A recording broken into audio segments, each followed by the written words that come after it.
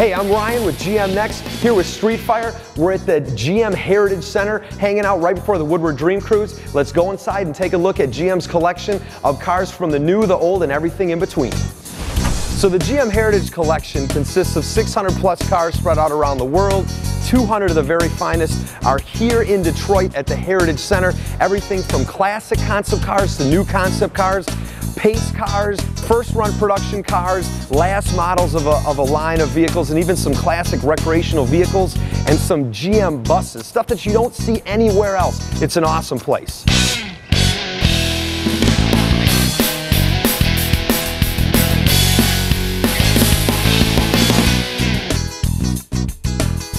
A lot in the news about alternative propulsion, alternative fuels. Nothing new to GM. This is a 1966 Electrovan 2. And if you think this thing is funky looking on the outside, take a look inside. This is actually powered by a hydrogen fuel cell.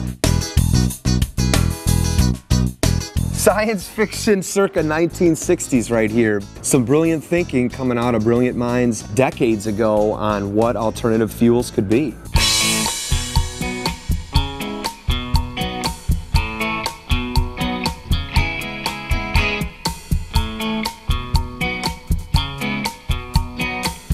Doesn't love Corvettes? And here at the Heritage Center, they got a ton of them.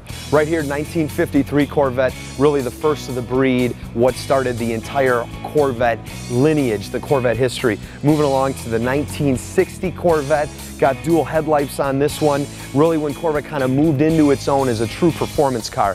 And again, the Heritage Center, got everything from classic cars to new cars. So this is actually the first built of the current generation C6 Corvette. Then you move in and we're talking about experimental Corvettes. This is actually an aluminum body Corvette built by Reynolds in 1974. Then we continue along with more Corvette concepts. I mean, these are the Corvettes that you really didn't ever see on the street. You only saw at the auto show. Corvette Indy right here, a really a, a breakthrough design that really captured everything that was cool in the 80s and then moving along into some modified C5s and what has become the pinnacle of Corvette racing. This is a C5R Corvette race car, the little brother to the current C6R that races in the American Le Mans Series. And this is a race team that has been dominant since this vehicle's really its inception in 1999 and all the subsequent model changes along. These guys love the car so much that they continue to race it and they continue to win.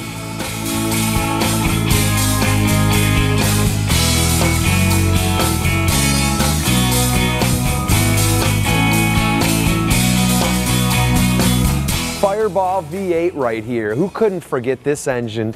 Uh, 215 cubic inches, powered a lot of Buicks.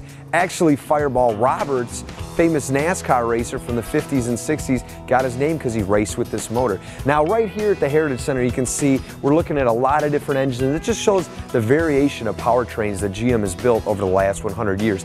Everything from the famous Northstar 32 valve V8 that's powered Cadillacs over the last 10 years to radial engines. This is a uh, Pratt & Whitney double wasp engine circa 1939. Now this was developed by Pratt & Whitney but also then built by General Motors during the war era.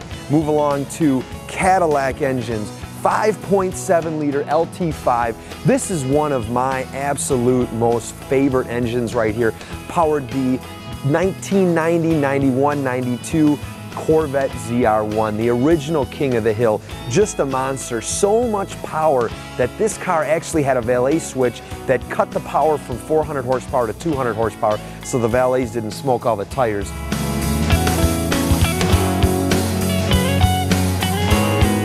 Now this is a 1961 Mako Shark Corvette concept. Now this car is a really, really interesting story. It was inspired by a Mako Shark that was actually caught off the coast of Florida by ex-director of GM styling, Bill Mitchell. Very famous for really setting the tone for GM styling in the 50s and 60s, a glamorous area for GM.